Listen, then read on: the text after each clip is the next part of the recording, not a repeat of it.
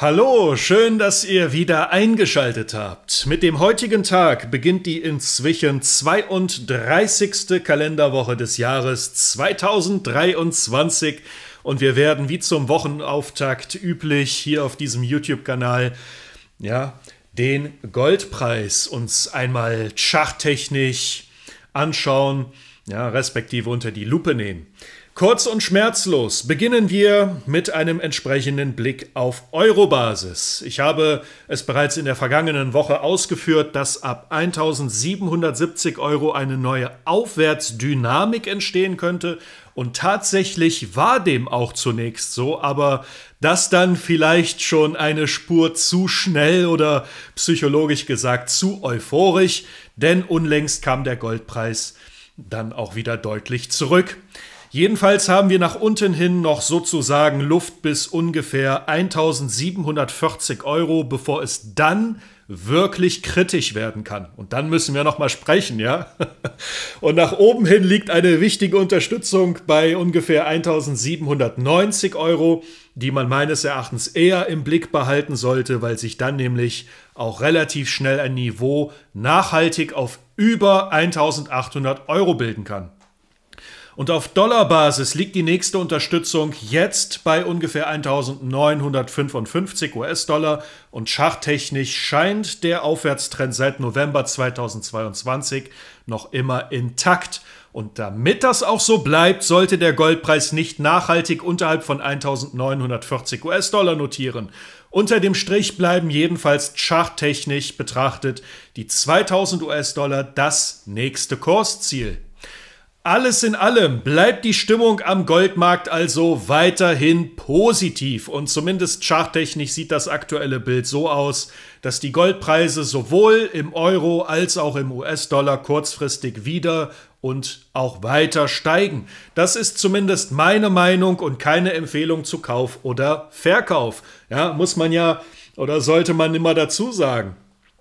Man sollte meines Erachtens, ja, meines Erachtens jedenfalls den dem ganzen Mediengeschwafel von steigenden Zinsen, vermeintlich guten Arbeitsmarktdaten, vor allem aber die anmaßende Behauptung, dass weit und breit keine wirkliche Krise in Sicht ist, kein Gehör schenken. Man sollte nicht vergessen, dass es gerade die Zentralbanken sind, die noch immer nach wie vor wie verrückt, wie von der Tarantel gestochen, physisches Gold kaufen, also sozusagen Wasser predigen und Wein saufen. Ja?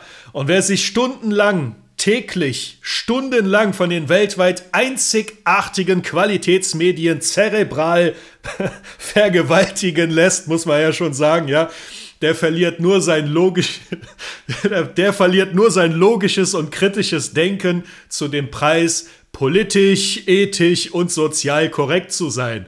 Das sind dann gewöhnlich jene, die unter anderem voller Überzeugung in den DAX investieren, die Riester-Verträge abschließen und die Neuankömmlinge dann am Bahnhof feierlich willkommen heißen, ja, feierlich beklatschen. Hallo, schön, dass ihr da seid.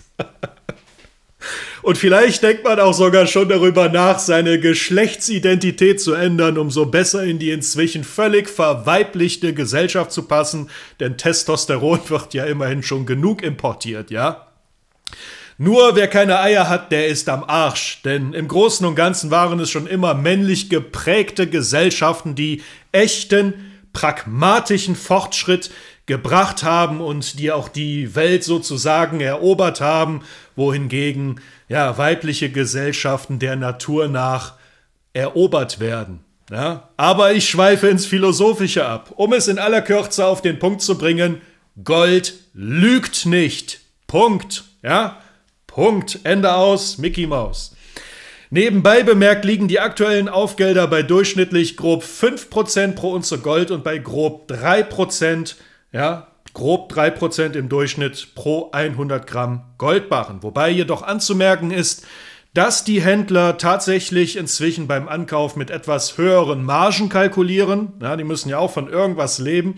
Jedenfalls ist es aber so, dass man als Anleger aktuell noch immer relativ kostengünstig an physisches Anlagegold kommt.